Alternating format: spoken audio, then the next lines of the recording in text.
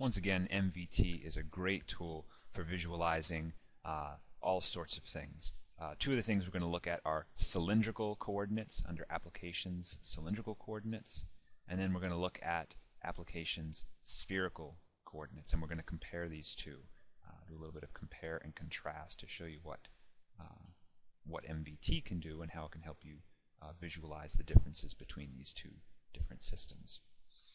So let's set these up. Nice. Okay, so the first thing you can do on the left, uh, by the way, is cylindrical, and on the right is spherical. So left cylindrical, right spherical. Uh, you can type in any coordinate that you like. So I'm going to type in uh, r equals 1, theta equals pi over 2, and z equals, oh, I don't know, 2. And I'm going to plot that point.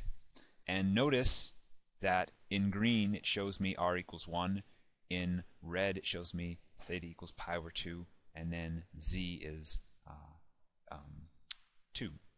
Now I can change that to like pi over 3, say, and it gives me the end coordinate. Not only that, but I can do my standard panning and zooming so you can get a real feel for what these things look like. And I can do a similar thing with the spherical coordinates, 1, uh, pi over 3, and then uh, say pi over 6. And I can plot that point, and it'll show me that. The only downside is there seems to be some sort of an error, uh, which happens if I try to turn my graph, a sphere appears and covers everything. If I click plot point, I get it back. Um, but I don't know why it does that. I guess that's just an error. No big deal. But you get the idea. It's pretty nifty. Um, so we can do more than just plotting points. We can plot functions.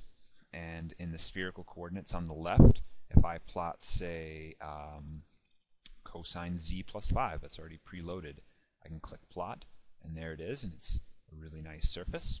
And I can um, explore this surface. I can trace lines of constant theta, and I'll drag this, and you can see that red line being traced around as we go uh, theta. You can see theta up here going from 0 to, um, or rather negative pi to positive pi.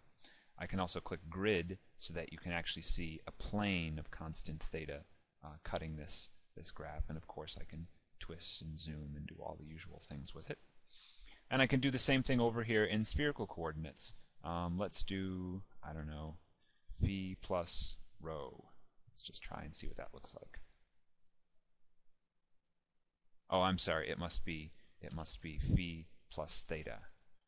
So I'll plot that, and we get this interesting seashell uh, looking function. And I can trace lines of constant theta.